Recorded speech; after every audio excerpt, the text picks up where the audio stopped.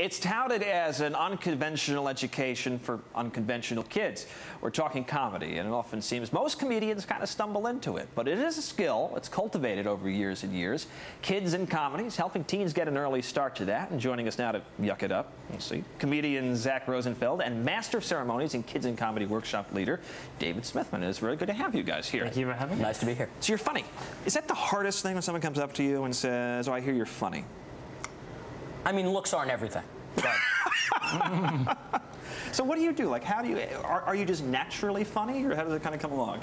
I mean, as a little kid, I was I was just told that I was funny a lot, and eventually I decided, you know what? If I'm if I'm funny, I might as well do something about it. So mm-hmm. I decided to go up there and give it a shot. I, I always think comedians are always talking about how it seems anyway that they're kind of tortured and you know, they, Right. they, they use their pain to, for their material. You guys don't seem tortured and, and pain. I mean, We do a good job of hiding it. yeah, okay. Re- Repression becomes a big part of life in broadcasting too. Yeah, on the inside, we're really um, just a hard to big go home and mess. crying, and you're Yeah, just a we big do mess. cr- a lot of crying, um, a lot of fetal position. Yes. You know, um, but yeah, it's like I mean, good comedy comes out of. Uh, Pain, I guess, uh, or, or like hard things, things that are hard to deal with. Like Zach does a, a good bit about um, having dyslexia. Yeah, I, I um, when I was younger, I was um, I people told me I had dyslexia, and I was like had to uh, deal with it. So Tough I thing to hear, yeah. I mean, I had to uh,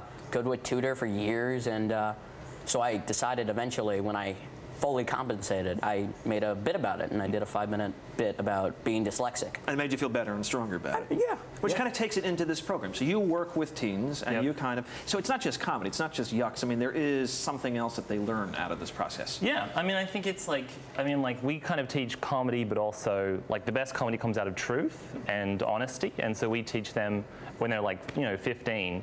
Uh, it's not really easy to be honest about yourself when you're 15 because you're in middle school or high school and you know if you have a funny haircut kids will make fun of you or if you are dyslexic kids will make fun of you. And so what we teach them is you know if you make jokes about having dyslexia before they can then it doesn't matter you know?